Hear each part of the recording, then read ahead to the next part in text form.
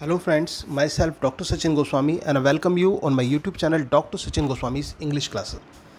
दोस्तों आज का जो हमारा टॉपिक है वो है द पैट्रियोट पैट्रियोट जो ये पोएम है ये निसिम इजिकल की लिखी हुई पोएम है और निसिम इजिकल को जैसे कि आप जानते हैं कि निसिम इजिकल वॉज़ बॉर्न ऑन 1924 और एक इंडियन जेविश कम्युनिटी के पोइट हैं इनको बेज बेन इसराइल कम्युनिटी के पोइट के रूप में भी जाना जाता है दोस्तों।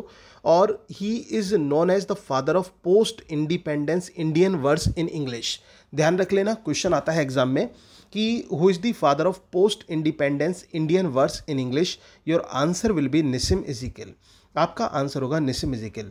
और दोस्तों, इनको साहित्य अकादमी अवार्ड भी मिल चुका है 1983 में, और इसके साथ साथ पद्मश्री अवार्ड से भी इनको सम्मानित किया जा चुका है 1988 में। अब हम बात करेंगे इनकी पोएम द पैट्रियोट की।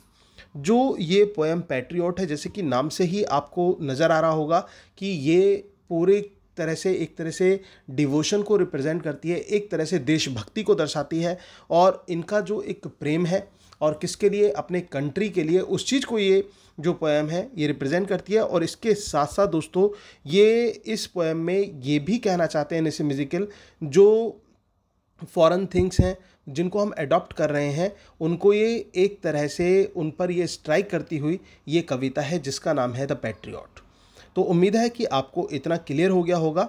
अब हम बात करते हैं कि ये जो पोएम है, इसमें क्या है? फिर हम इसके लाइन लाइन टू लाइन की तरफ़ भी बढ़ेंगे। लेकिन सबसे पहले आपको ये पता होना चाहिए कि इस पोएम में है क्या। दोस्तों, ये जो पोएम पैट्रियाट है, इसमें जो पोइट है, बात करते हैं पीस की। पीस और नॉन वायलेंस की और जो गांधीयन फिलोसफी है, उसकी बात करते हैं। दोस्तों ये क्वेश्चन आ जाता है कि which of the following poems of Nissim Ezekiel deals with Gandhian philosophy कि इनमें से कौन सी पोएम है निसिम इजिकल की जो गांधीयन फिलोसफी से डील करती है? तो आपका आंसर क्या होगा? आपका आंसर होगा द पैट्रियोट इनकी जो पोएम है पैट्रियोट वो गांधीयन फिलोसफी से डील करती है। और इस पोएम में जो ये निसिम इजिकल हैं, ये इस बारे में बात करते हैं कि समाज में आजकल चारों तरफ़ से बटे हुए हैं लोग और वो आपस में लड़ रहे हैं, झगड़ रहे हैं और इसके साथ साथ वो ये बात करते हैं कि उनके अंदर जरा सी भी एक सेंस ऑफ़ ह्यूमर जिसको हम कह सकते हैं, वो चीज़ उनके अंदर जरा सी भी नहीं है। और जो नॉन वायलेंस है नॉन वायलेंस पूरी तरह से जिसको हम बोलते हैं हिंसा, वो पूरी तरह से यहाँ पर आ चुकी है, फैल चुकी है, हिंसा फैल चुकी है। और हम जो अडॉप्ट कर रहे हैं, किस चीज़ को अडॉप्ट कर रहे हैं हम फॉरेन सिविलाइजेशन को अडॉप्ट कर रहे हैं, हम इंग्लिश जो जो कल्चर है, उसको अडॉप्ट कर रहे हैं और कहीं ना कहीं हम नेगलेक्ट करते जा रहे हैं, किसको नेगलेक्ट करते जा रहे हैं? हम नेगलेक्ट करते जा रहे हैं जो हमारी Indian culture Indian traditions Indian values हैं, उनको हमने पूरी तरह से, एक तरह से नकार दिया है। और यहाँ पर इसमें एक इंसिडेंट आपको और देखने को मिलेगा कि किस प्रकार से निसे म्यूजिकल जो है, जब उन्होंने एक इंग्लिश न्यूज़पेपर पढ़ा जिसका नाम है टाइम्स ऑफ़ इंडिया उसमें ये खबर पढ़ी उन्होंने कि किस प्रकार से एक स्टूडेंट ने इंदिरा गांधी के ऊपर जो है एक पत्थर फेंक कर मारा था। तो उससे भी वो मतलब उनको बहुत ज़्यादा ये चीज़ हर्ट हुई कि किस प्रकार से हमारे देश के जो महान लोग हैं, उनके साथ ही इतना दुर्व्यवहार यहाँ पर किया जा रहा है।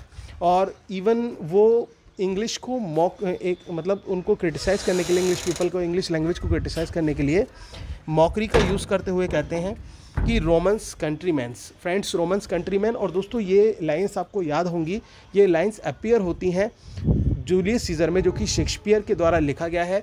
तो उसमें ये लाइंस अपियर होती हैं, उन लाइंस का भी ये यहाँ पर यूज़ करते हैं। और जो इंडियन थिंग्स हैं, जो भारतीय चीज़ें हैं, भारतीय परंपराएँ हैं, उनको फॉलो करने के लिए निसिम इजिकल इस पोएम में ज़्यादा ज़ोर डालते हैं। तो दोस्तों, इतना आपको समझ में आ गया होगा कि ये पोएम ऑलरेडी मतलब किस बारे में है। तो अब हम स्टार्ट करेंगे line to line explanation of the poem इससे क्योंकि लाइन टू लाइन समझने से पहले हमें उसका थीम पता होना चाहिए कि वास्तव में है क्या इसका पोएम के अंदर। तो स्टार्ट करते हैं the poem the patriot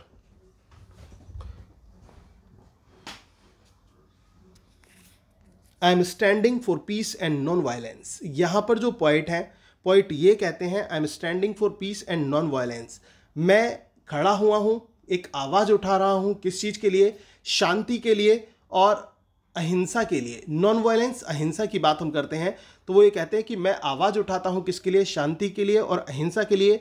Why world is fighting fighting वो ये कहते हैं कि जो संसार है, ये जो दुनिया है, ये क्यों समय व्यर्थ कर रहा है अपना लड़ने में?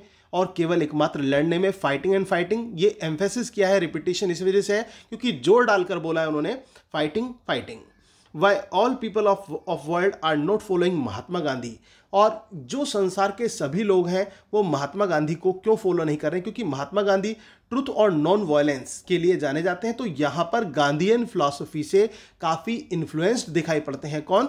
निसिमिजिकल और ये क्वेश्चन आ जाता है एग्ज़ाम में कि which of the following poems deals with Gandhian philosophy तो आपका आंसर यही होगा द पैट्रियोट बाय निसिमिजिकल और वो ये कहते हैं I am simply not understanding मैं ये चीज़ समझ में नहीं पा रहा हूँ कि महात्मा गांधी को लोग फॉलो क्यों नहीं कर रहे हैं।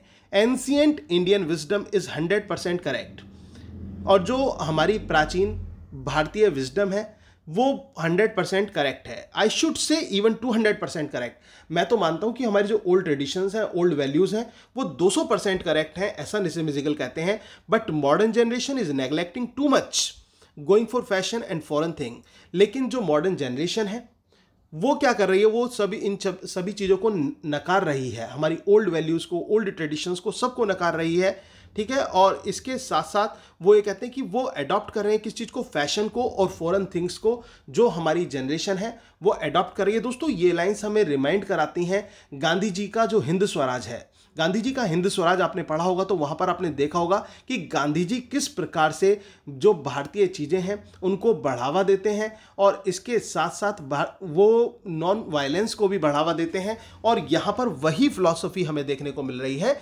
निसिम इजिकल के द्वारा। अब वो क्या कहते हैं दोस्तों?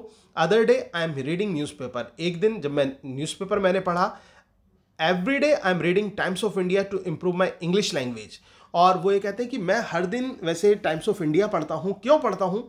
अपनी लैंग्वेज को इम्प्रूव करने के लिए। इंग्लिश लैंग्वेज को इम्प्रूव करने के लिए। इंग्लिश लैंग्वेज इम्प्रूव करना गलत नहीं है बट गलत है इंग्लिश वैल्यूज़ को फॉलो करना। इंग्लिश ट्रेडिशंस को फॉलो करना। How one gonna follow through stone at Indian बहन? कि कैसे कोई इंडियन बहन पर जो है, वो क्या कर सकता है? सॉरी इंदिरा बहन पर क्या कर सकता है? पत्थर फेंक सकता है। इंदिरा बहन, इंदिरा गांधी की बात हो रही कि इंदिरा गांधी के ऊपर किसी ने पत्थर फेंका और उसकी न्यूज़ अखबार में आई और किस न्यूज़पेपर में? टाइम्स ऑफ़ इंडिया में आई। Must be student unrest fellow. वो कोई हो सकता है। एक, कोई स्टूडेंट ही होगा जिसने ऐसा किया होगा। आई एम थिंकिंग मुझे लगता है। Friends Romans countryman I am saying to myself lend me the ears और वो ये खुद से कह, कहते हुए पुकारते हैं फ्रेंड्स रोमन्स कंट्री मैन दोस्तों ये लाइंस जैसे कि मैंने आपको बताया था अभी थोड़ी देर पहले जब मैं आपको समरी बता रहा था तो ये लाइंस जो है वो इंग्लिश कल्चर की को रिप्रेजेंट कर रही हैं और क्योंकि ये जूलियस सीजर से ली गई लाइंस हैं और यहाँ पर इन लाइंस को क्यों यूज़ किया है उन्होंने? एज अ मोकरी उन्होंने यूज़ किया है दोस्तों निसिमिजिकल ने इन लाइंस को। फ्रेंड्स रोमन्स कंट्री में क्वेश्चन आ जाता है एग्ज़ाम में कि इस लाइन जब वो इंडियन उसको बढ़ावा दे रहे हैं, ठीक है? तो यहाँ पर ए लाइन्स क्यों आती हैं? तो आप एज मोकरी इसका यूज़ करेंगे। Lend me the ears everything is coming regeneration remuneration and contraptions तो वो कहते हैं कि हर चीज़ आ रही है। क्या आ रहा है? रीजनरेशन हमें देखने को मिल रहा है। रिमिनरेशन हमें देखने को मिल रहा है। और कॉन्ट्रसेप्शन हमें देखने को मिल रहा है। Be patiently brothers and sisters और वो कहते हैं कि बी पेशेंट मतलब पेशेंस रखो। ब्रदर एंड सिस्टर सभी को कहते हैं you want one glass lassi very good for digestion with little salt lovely drink better than wine wine क्या तुम्हें चाहिए एक ग्लास लस्सी ये हमारी इंडियन ड्रिंक है दोस्तों लस्सी की बात हम कर रहे हैं यहाँ पर।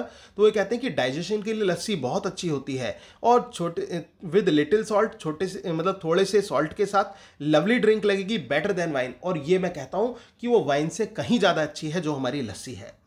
Not that I am ever tasting the wine और ये नहीं कि मैंने कभी वाइन को टेस्ट किया I am total T teetotaller completely total but I say wine is for the drunkards only और वो ये कहते हैं, मैं पूर्ण रूप से टी टॉटलर हूँ और जो वाइन है ना, वो किसके लिए है? वो केवल और केवल ड्रंकर्ड्स के लिए है. What you think of prospects of world peace तुम्हें क्या लगता है? संसार की शांति को लेकर तुम क्या सोचते हो? पाकिस्तान बिहेविंग लाइक दिस एक तरफ़ देखिए, हमारा जो पड़ोसी देश है, मुल्क है, पाकिस्तान, वो कितना बुरा व्यवहार कर रहा है। चाइना बिहेविंग लाइक दैट और दूसरी तरफ़ चाइना भी बाज नहीं आ रहा है। It is making me really sad I am telling you इससे मुझे बहुत दुख होता है। ये मैं आप लोगों को बता रहा हूँ। रियली मोस्ट हैरेसिंग मी और वास्तव में इससे मुझे बहुत ज़्यादा ये जो है ना, एक तरह से मतलब एक हैरासमेंट होती है इस चीज़ को लेकर। All man are brothers no in India also Gujaratis Maharashtrians Hindi वालास all brothers हमारे इंडिया में सभी लोग रहते हैं, हमारे गुजराती रहते हैं, महाराष्ट्रियंस रहते हैं हिंदी वालाज रहते हैं, हिंदी बोलने वाले, और सभी भाई हैं, सभी एक साथ हैं। Though some are having funny habits और लेकिन फिर भी कुछ लोगों में क्या है फनी हैबिट्स हैं। स्टिल यू टॉलरेट मी लेकिन फिर भी तुम मुझे टॉलरेट करते हो तो ये दोस्तों ये जो पोएम है निसे मिजिकल की तो कुल मिलाकर ये इनके जो है पेट्रोटिज्म को रिप्रेजेंट करती है और इसके साथ साथ इंडियन कल्चर इंडियन ट्रेडिशंस को बढ़ावा देने के लिए एक तरह से मैसेज दे रहे हैं और किस चीज़ को रिजेक्ट करने के लिए बोल रहे हैं, जो इंग्लिश कल्चर है English traditions English values English fashion को रिजेक्ट करने के लिए एक मैसेज एक अपील है यहाँ पर निसे म्यूजिकल की। उम्मीद है दोस्तों, आपको अच्छी तरह से समझ में आई होगी। अगर दोस्तों, आपको ये पोएम समझ में आई हो तो प्लीज़ वीडियो को लाइक ज़रूर करना और इसके साथ साथ शेयर शेयर और कमेंट करना भी ना भूलना। और मुझे ये भी बताना कि आपको ये कविता, ये पोएम कैसी लगी और मेरी अदर वीडियोस कैसी लगती हैं। और दोस्तों, अगर जो आप हमारी पेड क्लासेस का हिस्सा बनना चाहते हैं तो भी आप जो है मुझे कांटेक्ट कर सकते हैं। मेरा नंबर मैं आपको बता देता हूँ एक बार, जिसको मेरा नंबर मालूम नहीं है। Nine seven five six zero double five two double five. Nine seven five six zero double five two double five. आप इस नंबर पर मुझे कांटेक्ट कर सकते हैं, UP TGT English, UP PGT, और या फिर आप जूनियर टीचर की तैयारी कर रहे हैं जीआईसी की तैयारी कर रहे हैं, किसी में भी आप तैयारी कर रहे हैं तो आप हमारे कोर्स का हिस्सा बन सकते हैं। आप जो रिकॉर्डेड मोड की क्लासेज हैं, उनको लेना चाहते हैं तो आप उन्हें ले सकते हैं। आप जो है हमारे ऑनलाइन सेशन का हिस्सा बनना चाहते हैं तो आप उसे भी अटेंड कर सकते हैं। तो दैट्स योर चॉइस कि आप किस प्रकार से कोर्स को ज्वाइन करते हैं। और दोस्तों, और जो हमारा टीजीटी इंग्लिश का जो कोर्स है टीजीटी पीजीटी का, उसमें साथ में हम नोट्स भी प्रोवाइड कर रहे हैं। और अदर कोर्सेज में भी जो टाइमली आपको पीडीएफ भेजती भेज दी जाती है। और इसके साथ साथ दोस्तों, जो मेरा व्हाट्सअप चैनल जो मेरा सॉरी टेलीग्राम चैनल है, उसका भी लिंक मैं यहाँ पर डिस्क्रिप्शन बॉक्स में शेयर कर दूँगा। तो आप उसको भी ज्वाइन करें, क्योंकि उस पर भी आपको काफ़ी चीज़ें मिलती रहेंगी। टाइमली आपको अपडेट होता रहेगा और कुछ नई वीडियोस, कुछ नए जो पीडीएफ्स हैं, वो भी आपको मिलते रहेंगे। Thank you very much yours doctor Sachin Goswami